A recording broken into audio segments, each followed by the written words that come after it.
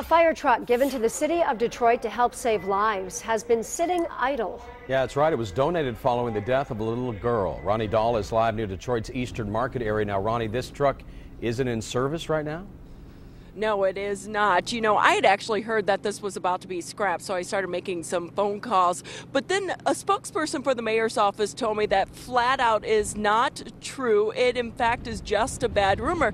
Still, the guy who donated the truck wants to know why it's been sitting in the garage for the past two years.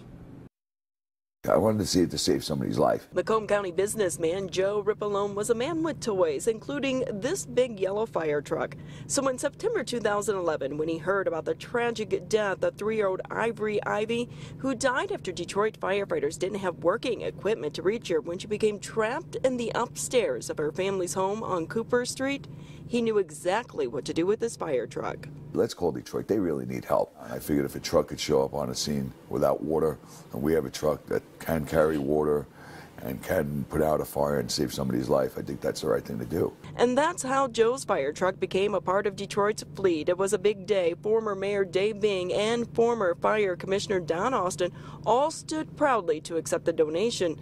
Since then, it hasn't been on the road saving lives. It's been mostly collecting dust. If it's not being used, what do you want to happen with this truck? I want, Detroit, I want Detroit to turn the keys back over to me. I want to find another company that's out there and let's let's give it to somebody who'll appreciate it. I would love to sit down and talk to the donor. Highland Park's mayor wouldn't mind adding the truck to his city's fleet. We would uh, take the fire truck, but we want to make sure that we could use it, you know, before we would accept the donation. This afternoon, a spokesperson for the city of Detroit tells us the reason it hasn't been in service ever is because it would require significant repair work in order for it to meet the demands that would be placed on it, and we do not have an urgent need for another ladder truck to be added to our fleet at this time to justify the expense. Since we started making phone calls, appears the big yellow rig is going to get dusted off and pulled out of the garage. I'm told Mayor Duggan himself called Rippolone to let him know the city intends to use his generous donation for training.